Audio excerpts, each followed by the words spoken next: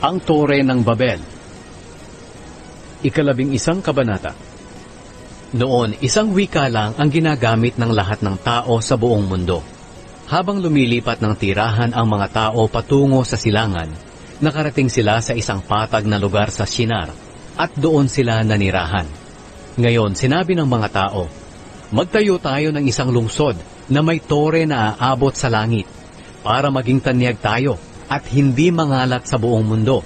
Kaya gumawa sila ng mga tisa at pinainitan nila ito ng mabuti para tumigas ng husto. Tisa ang ginamit nila sa halip na bato at aspalto ang ginamit nila bilang semento. Ngayon, bumaba ang Panginoon para tingnan ang pagtatayo ng mga tao ng lungsod at tore. Sinabi ng Panginoon, ang mga taong ito ay nagkakaisa at may isang wika lang.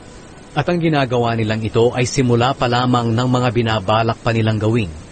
Hindi magtatagal gagawin nila ang kahit anong gusto nilang gawin. Kaya bumaba tayo. Pag-iba-ibahin natin ang wika nila para hindi sila magkaintindihan. Kaya pinangalat sila ng Panginoon sa buong mundo dahil hindi na sila magkaintindihan at nahinto ang pagtatayo nila ng lungsod. Ang lungsod na ito ay tinawag na Babel dahil doon pinag-iba-iba ng Panginoon ang wika ng mga tao at mula roon ay pinangalat niya sila sa buong mundo. Ang mga lahi ni Shem Ito ang salaysay tungkol sa pamilya ni Shem. Dalawang taon pagkatapos ng baha, nasa isandaang taong gulang na noon si Shem, nang isilang ang anak niyang lalaki na si Arpaksad. Matapos isilang si Arpaksad, nabuhay pa si Shem ng limang daang taon at nadagdagan pa ang mga anak niya. Nang 35 taong gulang na si Arpaksad, isinilang ang anak niyang lalaki na si Shelah. Matapos isilang si Shelah, nabuhay pa si Arpaksad ng apat na raan at tatlong taon at nadagdagan pa ang mga anak niya. Nang 30 taong gulang na si Shelah, isinilang ang anak niyang lalaki na si Eber. Matapos isilang si Eber, nabuhay pa si Shelah ng apat na raan at tatlong taon at nadagdagan pa ang mga anak niya. Nang 34 na taong gulang na si Eber, isinilang ang anak niyang lalaki na si Peleg.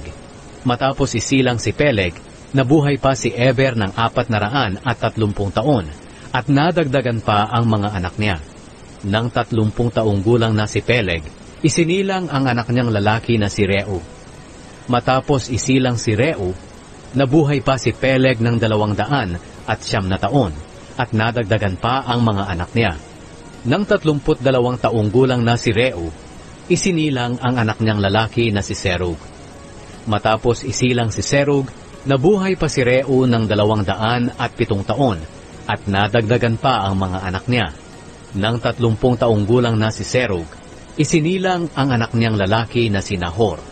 Matapos isilang si Nahor, nabuhay pa si Serug ng dalawang daang taon at nadagdagan pa ang mga anak niya. Nang dalawamput siyam na taong gulang na si Nahor, isinilang ang anak niyang lalaki na si Tera. Matapos isilang si Tera, nabuhay pa si Nahor ng isang daan at labinsyam na taon at nadagdagan pa ang mga anak niya. Nang pitumpung taong gulang na si Tera, isinilang ang mga anak niyang lalaki na si Abram, Nahor at Haran.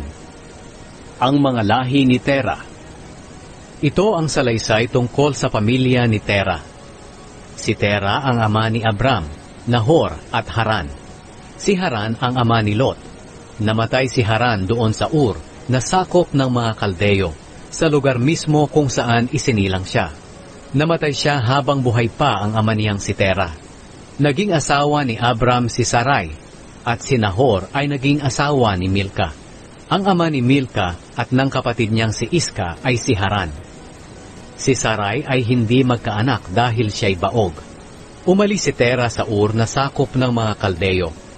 Kasama niya ang anak niyang si Abram, ang kanyang manugang na si Sarai, at ang apo niyang si Lot na anak ni Haran. Papunta sana sila sa Kanaan, pero pagdating nila sa Haran, doon na lamang sila tumira. Doon namatay si Tera sa edad na dalawang daan at lima.